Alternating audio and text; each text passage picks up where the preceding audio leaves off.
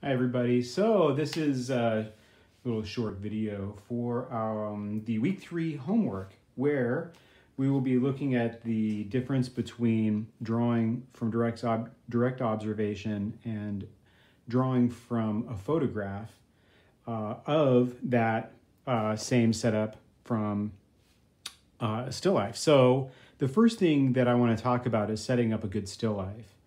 Um, sometimes um, it can happen that a great still life is just a, a found set of objects, maybe a cluttered desk, a sink full of dirty dishes, or um, the stuff that you might have sitting around uh, in your bathroom by the mirror. Um, and maybe maybe that is a, is a good organization. Sometimes though you might want something a little bit more um, deliberately set up. And in that case, I've got this little setup. What I would like you to do, you can go either way, but um, if you're going to set up a still life, be thoughtful about it um, in the way that you gather um, the objects and the way that you place them. So generally, um, in a good still life, you want um, three uh, at least or five or more objects that are um, have a variation in their size and in their quality. Um, and in this case, I have uh, these um, five objects here sitting on this old uh, piece of styrofoam as, as the setup. And um, they're all of different qualities, they have different sizes. Um, and I've arranged them in a way where they relate well with one another um, as they're setting. I open those scissors up so that they directly connect from one object to the next. The circle of this uh, ellipse and the circle of that ellipse mirror each other in the uh, sort of circular shapes here. This line is set up to parallel that line and contrast this line here. So um, is as opposed to having it set something like that, which kind of is haphazard and sucky um, if I were to do this, right? I might get lucky and land a decent still life, but it doesn't have the same overall um, formal quality uh, and compositional movement. So um, be aware of that. Um, be aware uh, that the still life objects you set up, if they're too simple, you're going to create a boring drawing. Um, if they're overly complex, um, if I have a bunch of complex sunflowers, for example, um, I might have to focus in and uh, draw just, you know, uh, a, a, little bit of what I'm looking at uh, because we have limited time. Well, we have a lot of time. We have limited time for this project. So that's generally the way that you want to set up a still life. Um, one last thing on it. Um, it's good to be aware of the tension between the objects and how close you set them.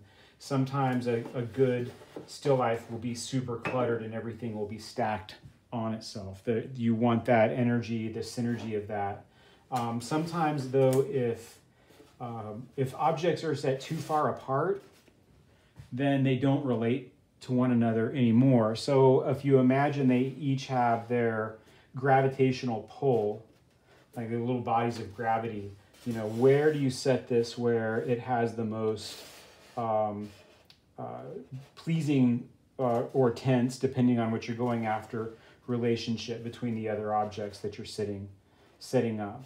Um, so be be thoughtful. Uh, still life artists who are professionals spend lots of time setting up their stuff. Anyway, so there's that, and lighting it too. You want beautiful cast shadows. So after you get your still life set up, or perhaps you're lucky and you find the most uh, awesome pile of dirty dishes, uh, whatever way it is, um, get yourself set up to draw. And um, I want to go over what. Um, here we go. Okay, I gotta turn this down. Like, all right, here we go. Like that. Sorry about the shakiness. Um, all right, so your drawing practice, um, your basic drawing practice ritual. So every day when you sit down and begin your studio practice, um, you, you sit down and begin to draw or paint or sculpt uh, or make videos or, or designs or whatever you're doing, it's good to get up, uh, set up a ritual for yourself. Um, and for us in, in drawing person, uh, purposes, um, I think uh, a good thing to do, sit down, put on some good groovy music that's going to keep you involved in your drawing and relaxed.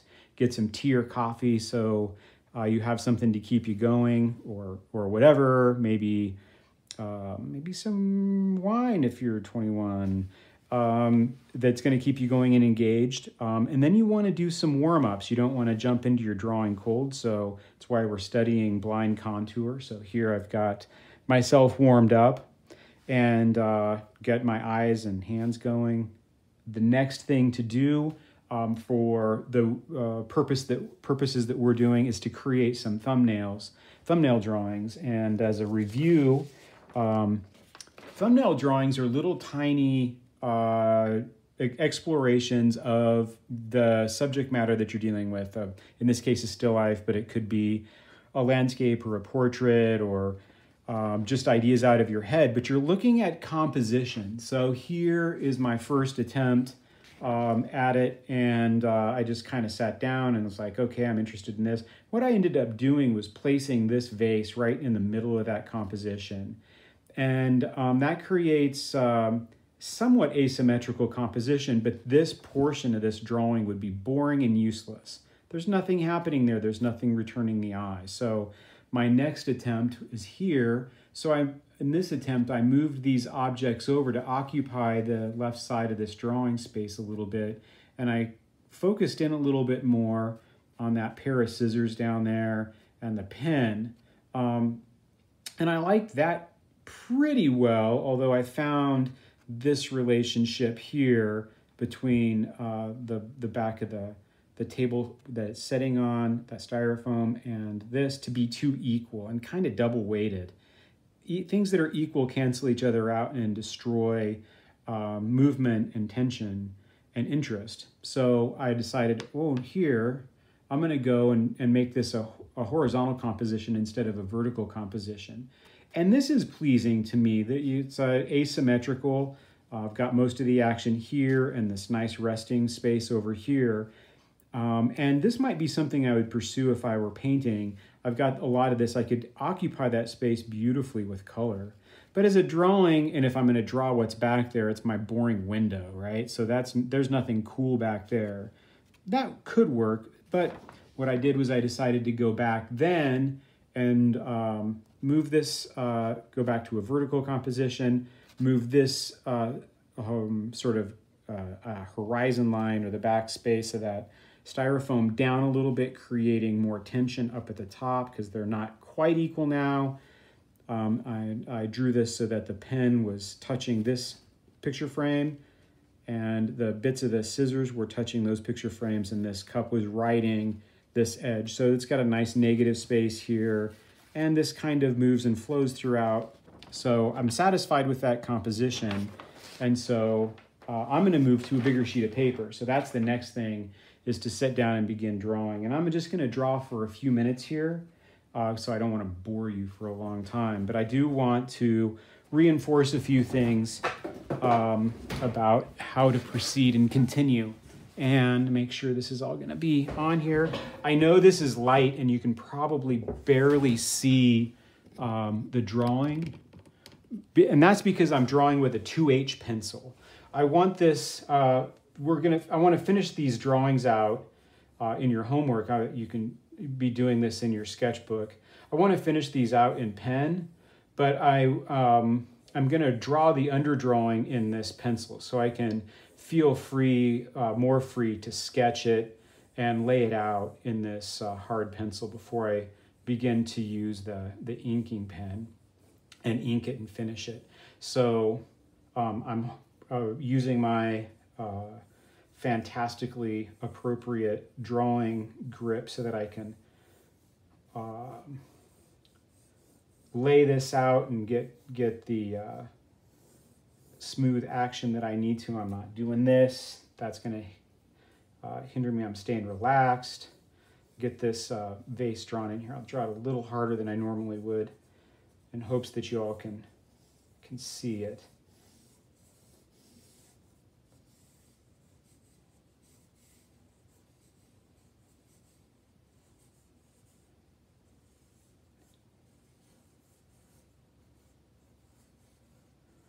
So our aim is to study line.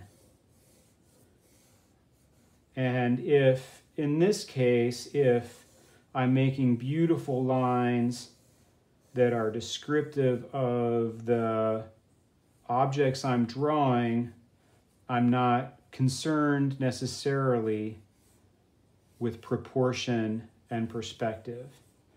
Those, for this uh, homework assignment, are secondary and I don't want to worry about them too much. I would rather sacrifice accuracy of proportion and perspective for the sake of line character and uh, movement. Okay, so I'm just laying this out here, getting an idea of where I want these shapes.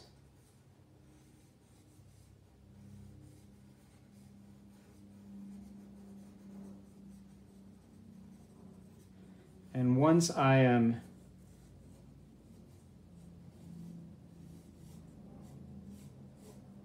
kind of satisfied with it, I drew this bottle a little too short and squat. And if this were a study in perspective and proportion, I would make an alteration there before I go to this next step. Which is, let me get this in here, get the scissors, and the front edge of the still life. Okay. Okay, so now let me see if you're seeing. Yeah, it's all right. You can kind of see that. I uh, now that I have that laid out, um, and uh, you can spend more time on it than I am, and I encourage you to. Um, I just don't want to take up your time watching me do it.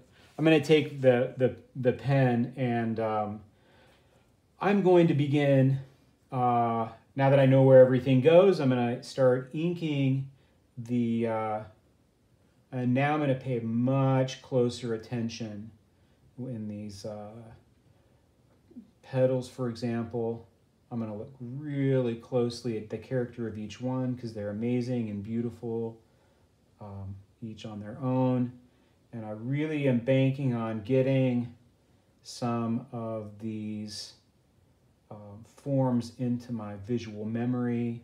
So later when I'm drawing, I can just refer to my memory about how to draw a flower or a vase. Um, or whatever that I have in my memory. So that's what this is about. And it's about getting your eye hand coordination down.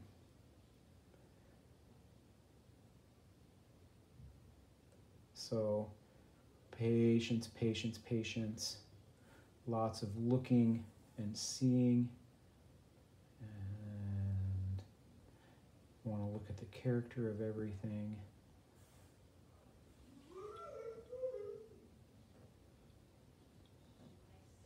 So the lines that I'm drawing to describe these petals are going to be different than the lines I'm going to draw to describe the sort of mechanical, smooth, mechanical shape of this vase. That's one long, smooth line. I'm not giving it texture like I would in this bit of uh, leaf down here, which is sort of feels rough in my hand when I handle it.